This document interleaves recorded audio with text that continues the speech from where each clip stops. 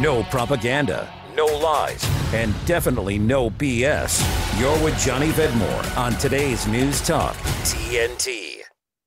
So, talking about somewhere else, so talking about another state, Louisiana has been laying down the law, God's law, in fact. Uh, Louisiana have mandated the Ten Commandments, requiring classrooms to display the commandments in their classrooms uh, across the states. Uh, I, I, across the state, are you happy about this? Oh, hell yes, I am. Absolutely, I am. And as a matter of fact, I share Donald Trump's uh, sentiment who uh, tweeted at 1:22 a.m. I love the 10 commandments in public schools, private schools and many other places for that matter.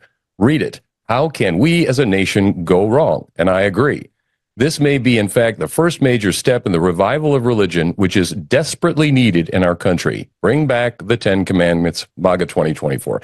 I agree with all of that wholeheartedly. And I guess the question that I would would ask back uh, what exactly in the list of the Ten Commandments exactly do people find so objectionable from a moral standpoint of what it's trying to say that we would be so upset that it would be in the schools? Okay, well, a good question back. Uh, let's uh, play devil's advocate then, if we don't mind a little bit of a pun. But it doesn't it go against the basic principle of separating church and state? Well, I'm glad you asked me that. As a matter of fact, it doesn't, because there really is no necessarily principle of uh, separation between church and state. That term comes from a letter that was written by Thomas Jefferson to the Danbury Baptist Association.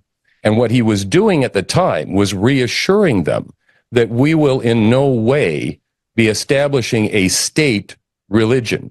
Because you understand that they fled from Euro, uh, from Europe, from England specifically, under religious persecution. Many of the Puritans, they weren't allowed to worship as they wished to. And so what happened was they came to this country because they wanted to worship Christianity the way that they wanted to. Uh, hence, denomin- denominationalism was born, right? And, and things started to separate off. And, uh, you know, after the split from the Anglican Church.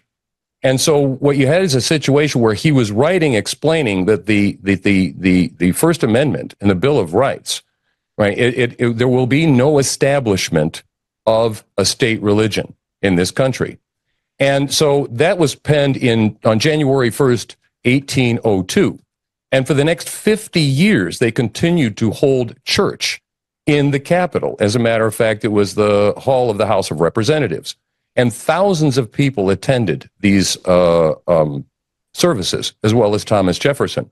So all the local people, the politicians, until Washington was built up enough, and there were a lot of churches that were um, that started up, and so people began to worship in these other denominations in different churches, and so the chapel idea kind of faded away in around 1850. So I guess if there was this great wall of separation between church and state, um, then why would we have been uh, having a church in in the Capitol for so long after that letter or that that term was coined? See, I think that term has been hijacked. I mean, if you look in, in all the courthouses, the Ten Commandments were there until not so recently. They started tearing them out, and people started suing and getting them out. All these people that are atheists, right? They want to get rid of and erase God from our culture. It's the same reason they uh, they got rid of uh, BC and AD right, on Anno Domini, which means the year of our Lord, and it was before Christ. Now it's before Common Era and Common Era. What the hell does that mean? It's bullshit. What it was done to, to separate God and the moorings from our, our, our, our country and our culture. And it's been a march ever since. And so, you know, this happened in the schools, right? Uh, when they took the prayer out of schools, it is arguable that every single metric uh, of social disease, right, went up. Teen pregnancy went up. Uh, all, all this stuff went up when they took prayer and God out of schools. This is merely reversing the trend and putting it square back where it belongs. Because John Adams said that our Constitution is only designed and will only function to govern a moral and religious people. Moral and religious. And people see these things as negative guardrails when actually they're necessary to ensure a free society in a society where you where you don't have that is less free because then you got to make a law for everything right and so I, I think I, I fully uh, believe that the, the idea that the separation of church and state is merely the fact that we will not establish a single religion like they, they have over in the Ukraine. They shut down all the other churches and they have one single church. So I think that's the long answer to your question.